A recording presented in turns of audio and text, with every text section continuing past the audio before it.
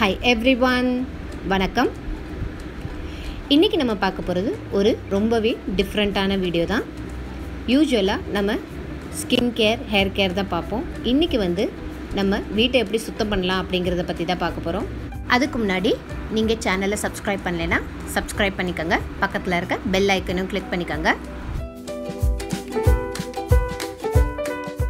வீட்டை சுத்தமாக வச்சுக்கிறது ரொம்ப ரொம்ப முக்கியமானது.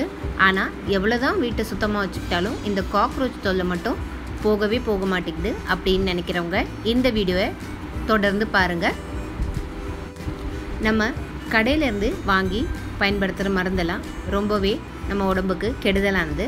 ஆனால் நீங்கள் இந்த மூணு விதத்தை பயன்படுத்தி பாருங்கள் இது ரொம்ப ரொம்ப நேச்சுரலான ப்ரொசீஜர் ஃபர்ஸ்ட் ஸ்டெப் பிரிஞ்சி இலையை காக்ரோச் விரட்டுறதுக்கு எப்படி பயன்படுத்தலாங்கிறத பற்றி தான் ஒரு நாலுலேருந்து அஞ்சு பிரிஞ்சி இலை எடுத்துக்கோங்க. அதில் நெருப்பு மூட்டிக்கோங்க. மூட்டிட்டு ஒரு பாத்திரத்தில் வச்சு நல்ல புகை வர்ற மாதிரி நெருப்பு பற்ற வச்சுக்கோங்க. புகை வந்து வெளியில் போகாத மாதிரி நீங்கள் பார்த்துக்கணும் அதனால் ஜன்னல்கள் கதவுகளை அடைச்சிருங்க. இந்த புகை வந்து உங்களோட உடம்புக்கு ரொம்ப நல்லது. உங்களோட மைண்டை ரிலாக்ஸ் பண்ணுறதுக்கு இந்த பிரிஞ்சி இலையோட போக ரொம்ப ரொம்ப உங்களுக்கு யூஸ்ஃபுல்லாக இருக்கும்.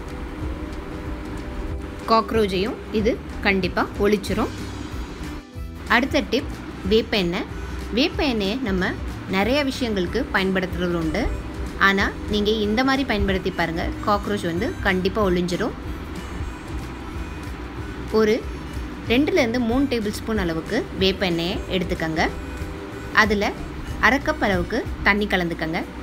இது ரெண்டையும் கலந்து ஒரு ஸ்ப்ரே பாட்டிலில் ஊற்றி எங்கெங்கே உங்களுக்கு காக்ரோச் தொல்லை இருக்கோ அங்கே நீங்கள் ஸ்ப்ரே பண்ணணும். இதை தொடர்ந்து செய்கிறதுனால காக்ரோச் வந்து கண்டிப்பாக ஒளிஞ்சு போயிடும். அடுத்து லெமன் லெமன் எப்படி நீங்கள் காக்ரோச் விரட்டுறதுக்கு பயன்படுத்தலாங்கிறத பார்க்க போகிறோம் ஒன்றுலேருந்து ரெண்டு லெமன் வரைக்கும் உங்களுக்கு தேவைப்படலாம். பிழிஞ்சு நல்லா ஜூஸ் எடுத்து வச்சுக்கோங்க. அதை ஒரு கப் அளவு தண்ணியில் கலந்து ஸ்ப்ரே பாட்டிலில் ஊற்றி இதை வந்து நீங்கள் எங்கெங்கே காக்ரோச் இருக்கோ அங்கெல்லாம் ஸ்ப்ரே பண்ணணும். அது மட்டும் இல்லாமல் நீங்கள் காற்றுலையும் இதை ஸ்ப்ரே பண்ணிக்கலாம். இதை ஸ்ப்ரே பண்ணுறதுனால காக்ரோச் கண்டிப்பாக ஒழிஞ்சிடும் அது மட்டும் இல்லாமல் உங்கள் வீடு நல்ல வாசமாக இருக்கும். நல்ல ஃப்ரெஷ்னஸ் கொடுக்கும் இந்த ஸ்ப்ரே ட்ரை பண்ணி பாருங்கள் வீடியோ பிடிச்சிருந்துச்சுன்னா லைக் பண்ண மறந்துடாதீங்க. மறக்காமல் சப்ஸ்கிரைப் பண்ணுங்கள் தேங்க்யூ